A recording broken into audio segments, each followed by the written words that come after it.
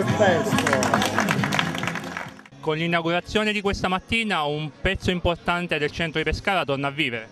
Sì, intanto torna a vivere, manteniamo l'impegno di valorizzare il cosiddetto centro commerciale naturale. Oggi questa nuova pavimentazione, la bellezza, l'eleganza di questa pavimentazione rende questo nostro centro, questa zona a traffico limitato, una delle più belle d'Europa, non d'Italia, ma d'Europa. A detta di tutti, a detta di architetti, a, detti, a detta di coloro che sono abituati a viaggiare e a confrontarsi anche con le altre realtà.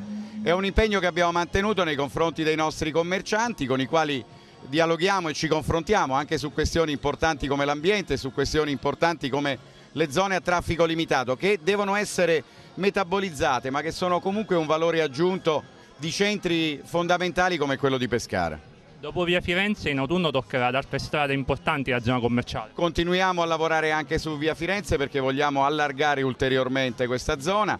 Inauguriamo di fatto anche via Mazzini, un'altra zona a traffico limitato, un'altra via che eh, prima non aveva certamente una grande dignità, detta dei residenti, a detta anche dei commercianti. Oggi invece è una delle vie più belle di questa città, ma noi non lavoriamo soltanto nel centro di Pescara, sono in corso lavori sul, sul lungomare nord, sono in corso lavori sul lungomare sud e tanti altri ne abbiamo in cantiere. Secondo quello che si può fare in tempi difficili in cui le ristrettezze economiche purtroppo impongono anche agli amministratori eh, il fatto di dover razionalizzare gli interventi, ma noi stiamo lavorando, stiamo facendo a testa bassa, forse comunicando meno con eh, meno lustrini e paillette ma con tanta concretezza e tanta sostanza.